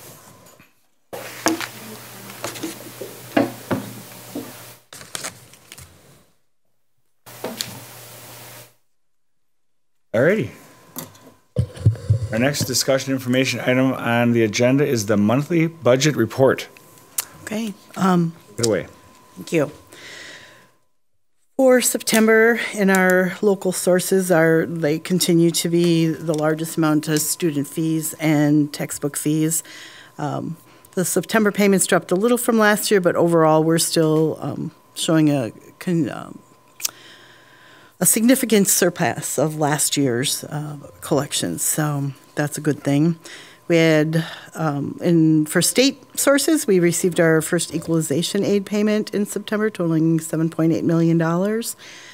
And just in other revenues, received a U.S. bank rebate of $50,288. Um, That's been a very good program for us. That's from our P-card program. Overall, we've received 6.33% of our budgeted revenues compared to 5.66 this time last year. Um, No surprises, nothing out of line in what we've been receiving yet. From an expense perspective, excuse me, salaries and benefits, the percentage is running a little bit high, but I don't think it's an issue. I'm running salary projections right now with our September payroll done just to um, ensure that that's true. But last year, our budget was a little high. So the budget was high, the percentages were lower based on a high budget. And we really worked to make sure the budget was pulled in and, and uh, more accurate this year for salaries and benefits. So I think that that percentage is in line with where we expect to be. It just looks different from last year. And, and while the percentage difference is small, when you're looking at the millions of dollars that we have in salaries and benefits, it's, you know, a significant amount of money. But I'm currently working on our salary projections based off of our September payroll to make sure that we are in line. And we'll have that done prior to the final budget presentation in case we need any tweaking before the final, final budget. So Sherry, what, what um, would adjust those projections? Pardon? What would change those projections? If, And the, um, but for the salary and benefits? Sorry, I'm really not understanding what, Well, why s- would they You be said you're, you're running the projections, so what, what, um, Oh. cri- you know, what would happen to change those projections? So one of the things I've noticed is that our aides seem high um, Okay. in perspective. And when we were developing the budget, there was a discussion about how many aid positions were going Okay. to change. So that may not have changed as much as we thought it would, so that might be higher. Gotcha. So there's different factors, and when we're budgeting into what comes to reality at the time we start school, that um, sometimes need to be relooked at. But I, I really think it's going to be okay, just looking at my initial projections. I think the difference really is the fact that our budget was high last year. We came in under budget a bit on salaries last year. Okay. And like I said, we honed in the budget this year to try to be um, tighter on our budget and not have that extra. And so that means our percentages are going to look a little Okay. higher because the budget's a little bit lower. Also, keep in mind, when, when we build the preliminary budget, we're going off of June data. Right. A lot of hiring hasn't been done, so that can tweak it as Okay. well. But there's always some adjustments. Um, towards the end, you get the hotspot elementary grade that has that odd number where you either have 28 in the class or you Yep. add a third. So it's things like that, than, than just finding out who's actually here. Right. Um, How does our, um, how does our sub-fill rate play into those projections? Well, we, we have a sub-budget that we put out there, but last year it was significantly under budget because Okay. of being able to fill. I noticed on our dashboard that our sub-fill right now is in the Low. green, whatever bad color it's, Yeah, it's it's in in right color. now. So if we can't fill subs, then the sub-budget is higher than what we spend. Um, But I don't, the sub-budget isn't an area that I'm concerned about going over budget on right Okay. now. Right. Mm-hmm. But this year, I wouldn't look at our expenditures.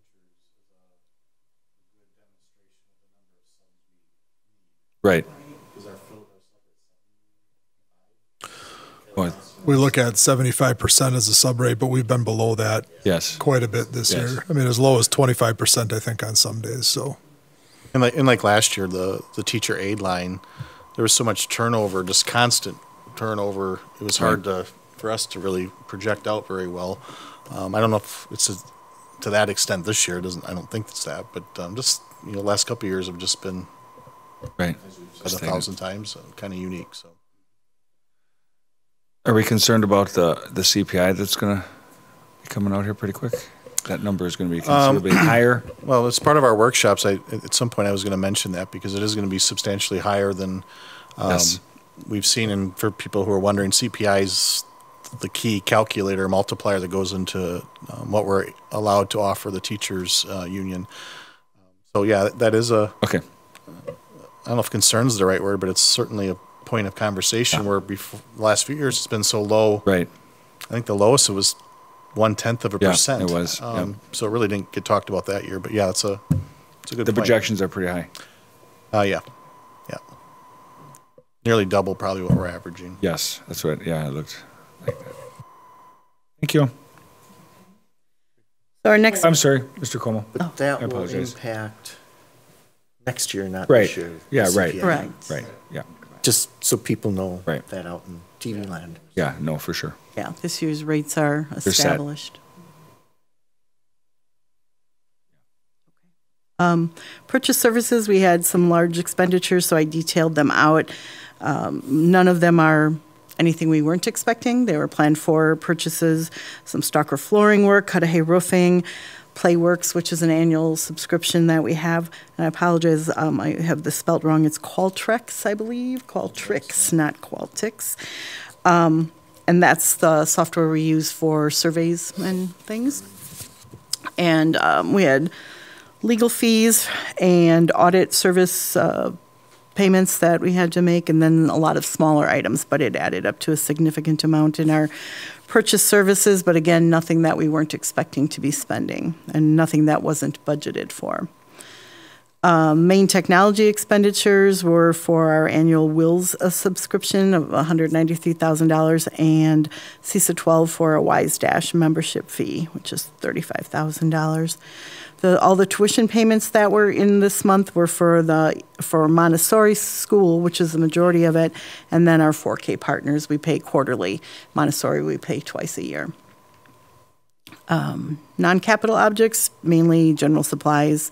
Um, We also had a, a larger textbook spend, but like still under $100,000. So for the textbooks, again, everything budgeted for, nothing unexpected.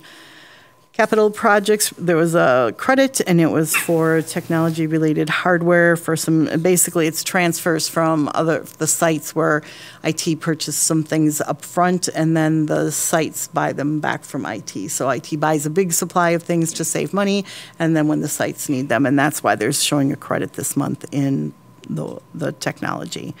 No debt retirement in, from the general fund in September. We did pay in, out of Fund 39, our interest payments. um, we have in uh, September of every year, we have to pay interest on our debt, and that was taken care of on the last day of September, so.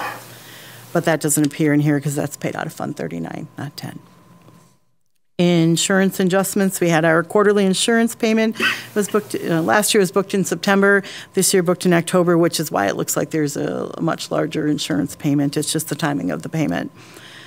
No transfers, um, other objects, really minimal spending, but right now, overall, with our Fund 10 budget, we're at 11.33% of the approved budget, and we are at 10.85, but it's really a matter of the timing of when we're paying things and some projects that um, were paid. So it's all good, nothing bad that we're worried about right now. Revenue for Fund 27, uh, minimal. Medicaid payment was the only special education payment we received in um, September. Again, that's normal. Uh, We really don't start seeing the special education funding money coming till November. Expenses, salaries, and benefits, again, same thing as Fund 10, but it's the same situation. Our budget was a little bit um, high last year, or um, a a little, want to use the word inflated, but it was higher than what our expenses came through. We honed that back down, so I would expect the percentage to be higher, but we will um, uh, make sure our projections are coming out in line with our budget. One thing on those salaries, excuse me, from last year, we also had budgeted some fund balance for COVID response that we ended up not utilizing. I think that was Right. probably the biggest variance between the two years. Okay. This dawned on me. as we were That's a good sitting here. point, thank you. Um, Really, the- for purchase services, our main spending was a payment for our, toward our CESA con, our annual CESA contract. Supplies, uh, just general supplies and the non-capital objects. No capital purchases, nothing else really in Fund 27. Um, They're always low this time of year. Fund 27 expenditures, they start to pick up as time goes on, so nothing out of line. Fund 43, again, interest is our only revenue. Um, We have no more funding coming for Fund 43. Our expenditures are, um, again, just the contractor payments. We're starting to really dwindle that down. And um, as Darren had shared earlier, coming to the end of the referendum projects and looking at what we're going to do with any leftover money. Um, And once we wrap up Fund 43, we'll just remove it from the report. If there's not questions on that, then I'd like to talk a little bit about the health claims. And so I'd like to direct your attention to, there's so many documents um, shared. The, let's see, there's a document called the Health Claims History. Um, It's a PDF, and it's just a short graph. And what I was trying to show with this, you know, we've been talking about claims being behind, and we ended up building this surplus, and now the claims are starting to um, ramp up again. And so I just wanted to put that in perspective. So what this particular document document shows is that the blue is the first three months of the claims of every fiscal year for the last five years, including this year then, so for six years total. And the blue line says this is how much we've paid for July, August, and September. The red line is what we start our balance out at, at the beginning of every year. It's also in most years known as our IBNR, incurred but not reported. It's the claims that we've incurred before June 30th, but they haven't been paid for yet. And, you know, that's an estimate. The IBNR is, is an estimate. Um, and as you can see, the, in a typical year, it seems to be about 40 to 45% of our claims actually um, are paid in those first three months. They could, that IBNR, those claims still could be coming in later and paid in later months. But this is the trend, and even looking at the, we have two more years of our claim service, they fall right in that same category, the, the very first two years. Um, Then we hit the one year where we had um, some extreme high-cost claims, and that's the big blue line in the middle where the IBNR dipped because we just had, um, this year we had to dip into our balance. Now, on the bottom of that document, I put a note that um, this is different than, we also talk about our fund balance for claims. So this balance is what I would equate to being our, our family checking account, right? You're putting your salary in, you're taking your expenses out on a day-to-day basis. The fund balance is more like, that's your rainy day money, right? Your emergency fund. So if something happens in your day-to-day, you've got that money to tap into. But they are two distinctly different pools of money. Um, we don't touch the other money until we have a year like, it was actually the year before that was so bad, um, it just tr- tr- uh, trickled over into um, the 18-19 school year, but it was the 17-18 where the claims just kept going up and up and up because of our high-cost claims. Then we went back down in 1920 to a more normal year, but again for the first three months. But then we had 2021, COVID hits in 20, and we start to show the big drop in claims. And now you can see it's starting to tip back up again. It's higher than it is in a typical year, um, not quite as high as it was in our really bad year. So that's a good sign that it's not as high as that, but um, we can just see where those claims are starting to creep up. But you can see where the red line is now. So there's, it's not a situation to be worried about I just wanted to paint that picture with the health claims and where we're sitting. Questions on that? It's a great slide. Yeah, it is. Good. Oh, good. I'm glad it's helpful. Um, So we don't have to look at the actual claims payable because, I mean, we can. We're still at a significant balance right now. At the end of September, we still have 3.9 million in that particular um, pool of money. We started out with 5.2 million. So it's still in um, good shape for the rest of the year. We don't expect that there's going to be any issues, but we can never predict what's going to happen with high-cost claims, unfortunately. Um, Dental is also in a good position. We're sitting at 1 million um, in our liability count, down from 1.2 million. Very typical where we're at with this time of year because people go see the dentist over the summer and get things taken care of. So no surprises there either. Um, Unless there's any questions, that would wrap up my budget report. Any questions? One other thing to keep in mind for the health claims and that, that reserve that we were just showing, we did freeze premiums this year, and there was medical inflation going on. It- We just also are trying to balance out, you know, we don't want to keep saving reserves because that's, at some point, that's not how you're supposed to manage the program, but we are sharing that with staff and, and certainly helped us with um, balancing our budget this year.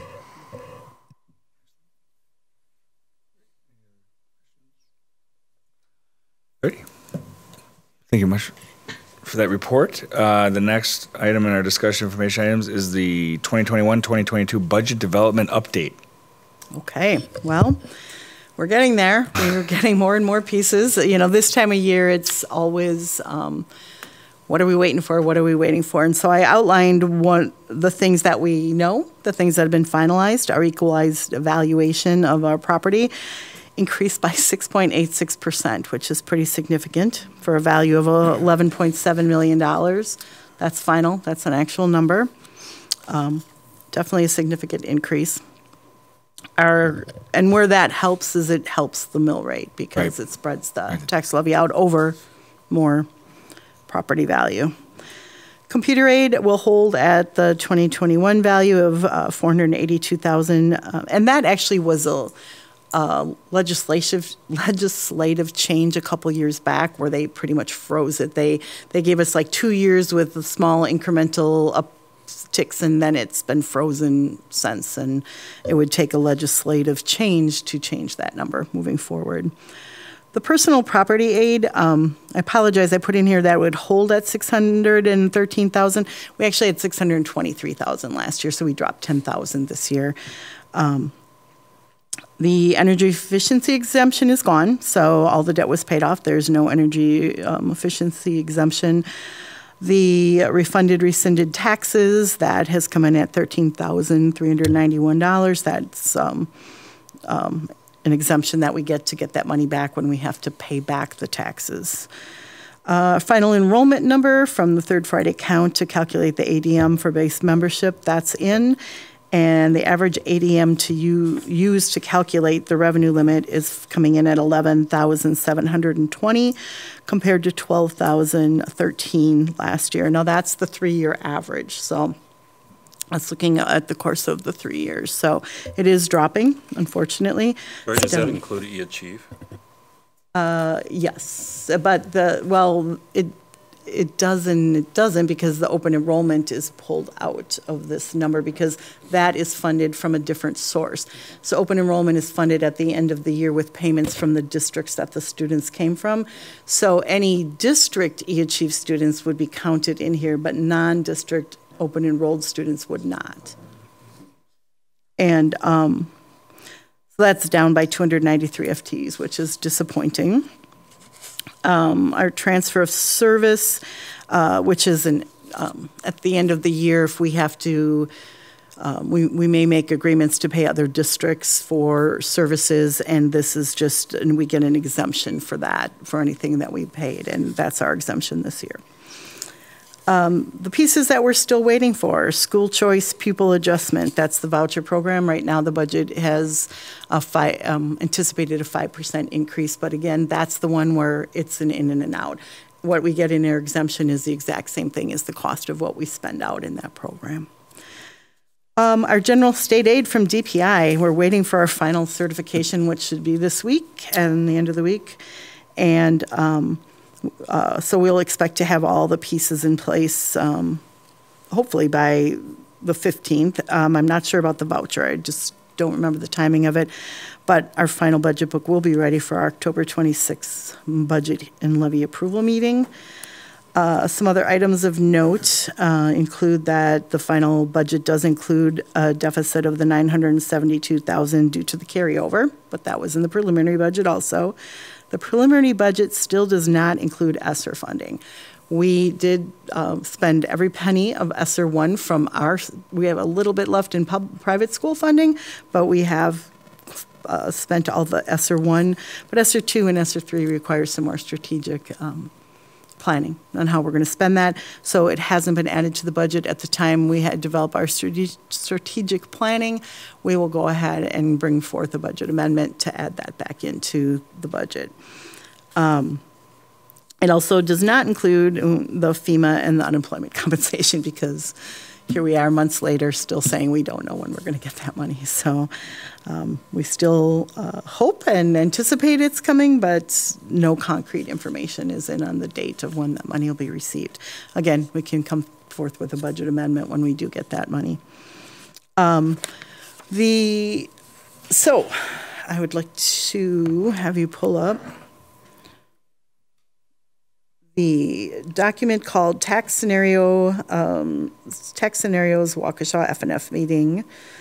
That just, we have three scenarios we're showing, and this isn't so we can get approval on anything. This is more of, these are three uh, different scenarios that we could look at. So scenario A shows our July 1st aid estimate with no debt defeasance. So over the past couple years, we've been able to do um, some nice prepayment of debt and bring our Fund 39, which is our referendum debt, down um, by a very uh, nice amount, a significant amount.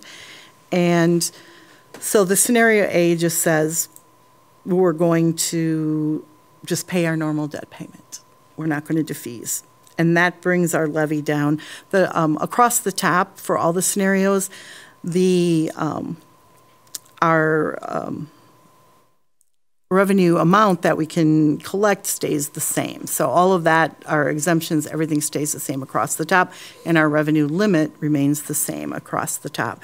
It's down in the bottom half where we're looking at the differences. And so our normal debt payment is uh, $6.4 million. Um, This has a levy rate of 7.04 compared to 8.03 last year. It gives us the opportunity to bring some defeasance in if we'd like to maintain closer to where we've been spending. So scenario B says, well, here's our aid estimate, again from July, but we're going to add in the defeasance that we put in the preliminary budget because we did um, have a nice, we were able to have that in the preliminary budget. That still brings us to a 7.63 um, uh, mill rate, which is uh, still under last year's. And then scenario C says, well, let's anticipate we get a 3% increase in state aid, and we have that same defeasance amount.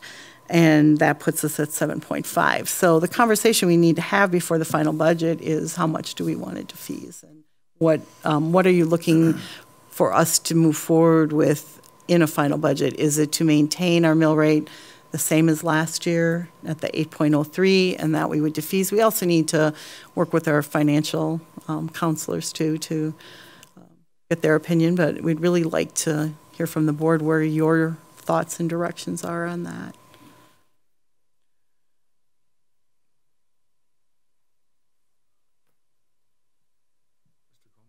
So remind me if we were to uh, continue with, let's say, scenario B, remind me where we would be at in terms of uh, when we would be projected to completely pay off that debt. I don't have the full amount, I don't have those sheets with me, I apologize, we can provide that. This would enable us, because this would be about a $7 million defeasance, it would enable us to pay off the bank loan completely, which is the $5 million one one that we refinanced with Waukesha State Bank, and we have one year to prepay that. If we don't prepay that this year, then it sticks to the schedule, but we can save interest if we prepay it. Um, That's in scenario B? Yes, scenario B and C would both allow that. Okay. And that would still allow um, almost $2 million that we would then put aside for future payments because the, the bond uh, loan isn't callable yet. We're not able to prepay that one yet. And I don't, I don't know, Darren, I'm sorry, do you happen to have that? I didn't think to bring that. But that, we have the, the sheets that show when that is callable and when we could start applying to that. The bonded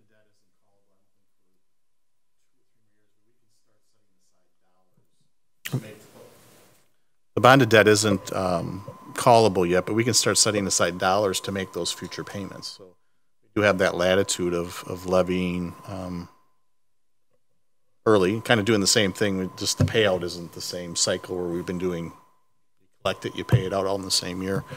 Um, This will be our third, I'm just trying to bring up the budget booklet um, off the website here. Our third year of defeasing, and even if we come in at the $11 million that we had last year um, for a Fund 39 levy, we're still on pace to pay off the debt in six years. Um, So somewhere in that range. What really is going to drive this in my mind is where's that aid number coming on Friday? Bless you. So six years would be 2024, 2025? I think our last levy would be the fall of '24. No, yes. the fall of '24. And the payments we made the following year. So we're, we're, you know, for having $60 million of debt, we're on a pretty um, accelerated pace. I was going to try to pull up documents from Michelle, but I don't. So explain to me the difference between scenario B and C again? Um, C just anticipates a 3% growth in our equalization aid. So the July estimate is based off of um, our budget figures. So when DPI comes out with our July 8 estimate, it's based on what we budgeted for last year. And then um, the final is based on our actuals. And so they're just going through our actuals now because our annual report was filed last week and, or actually the 17th. And so now they have all the annual reports. They're working on all the, the data for all the schools and then coming out with, here's your aid, your final aid based on your actual figures versus your, um, your budgeted figures. And we're in, you know, it's a, it's a guessing game. Right now, we're looking at potentially a 3% increase. And what, it doesn't impact our, um, our overall uh, revenue limit. Our revenue limit stays the same. Basically, what it does is it um, moves the money out of the tax area and into the aid area, and so it makes your levy go down. I thi- I think really what we need to know is, do we want to continue f- defeasing Right. at the, the pace we're going? Okay. Um, If we don't, because it's obviously a huge swing levy-wise, um, and you're trading that off for interest savings and paying down the debt quicker, so it's kind of, we have the same conversation every year. It won't be any of these numbers exactly because we're, we're projecting here, but, um, you know, if we can just get the, um, okay that you'd like to see the defeasance continued, it would help us formulate um, a number to come back to you. And, and we offer this every year, but, you know, if we feel the need, we need to have a, a special F and F meeting prior to approval. um, We can send out, well, here's what we're looking at. Um, Obviously, you can't vote on it, but if there's any questions, um, otherwise, it's cer- certainly not um, out of the question to have a special meeting because you're talking millions of dollars if we feel the need. We haven't the last couple of years, but um, we're more than willing to do that. So 2025 would be the, if we stayed at the pace we were staying at to defease, that would be the last time we would levy. Fall of '24 for the 24-25 school year would be the last time we would levy if we stay at this pace. Okay.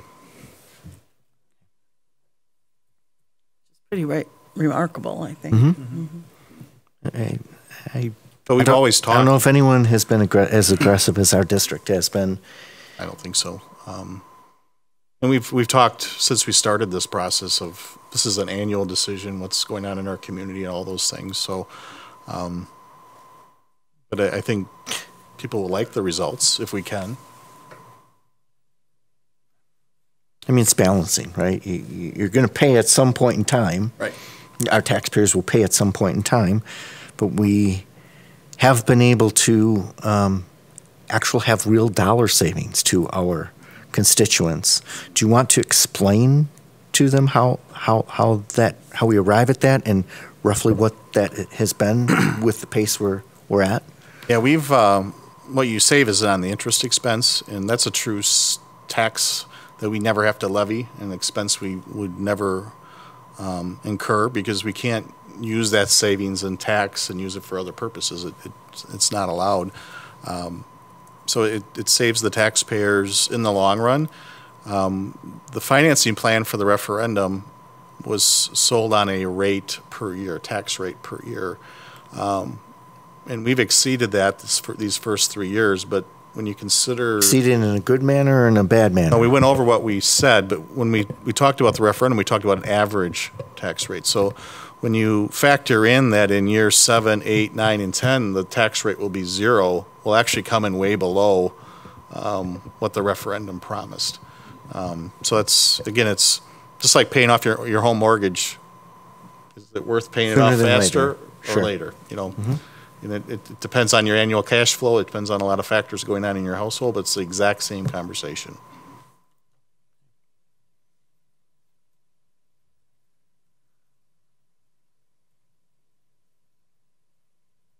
I've I've been comfortable doing it.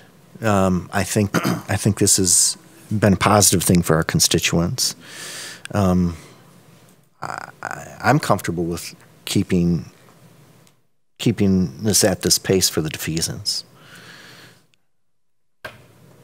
How does this play into our long term game, though? Um,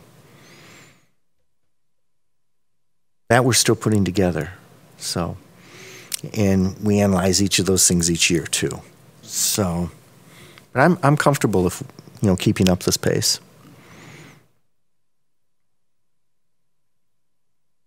Yeah, I don't, I don't think that uh, we should not defease if we can. I mean, the savings will be great, um, and the return on the investment will definitely outweigh. Anything else for sure. We have the one-time opportunity this year. Yeah, I mean, the yeah, right. One for portion. the for the bank loan, correct? Yep, and it was set. We set it up specifically that way, Mhm. so we could defease that portion. So I don't really have a problem moving forward with the defeasance.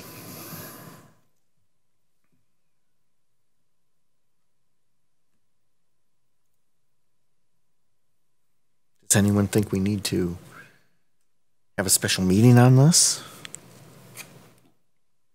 And we've been pretty much charged with with, Right. with this decision No. all along. And I, I haven't gotten a lot of phone calls, but I, I get a fair amount of, um, in December, I get a fair amount of calls from taxpayers.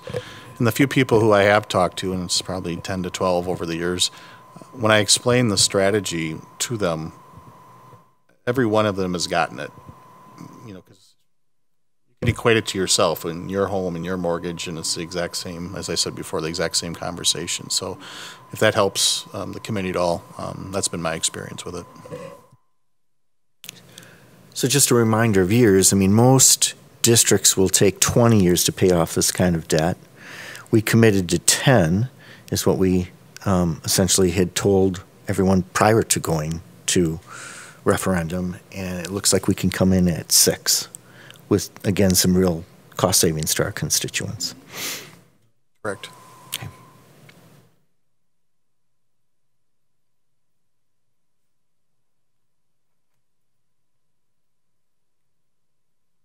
What do you think, Ms. Rajnicek? There you go.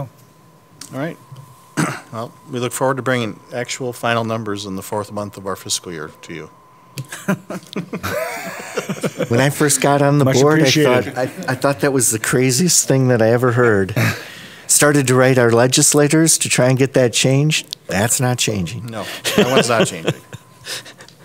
I just wanted to point out in board docs, there is a revenue limit um, worksheet that goes along with each one of these scenarios, should you be inclined to want to read something before bed tonight. They're uh, a little complicated, and I'm always happy to explain if people have questions. You can give me a call, we can walk through them, but uh, the highlights from the revenue limit worksheets are on this page. They drive everything on this page, so. What do you think the probability is that we're going to get a three percent increase?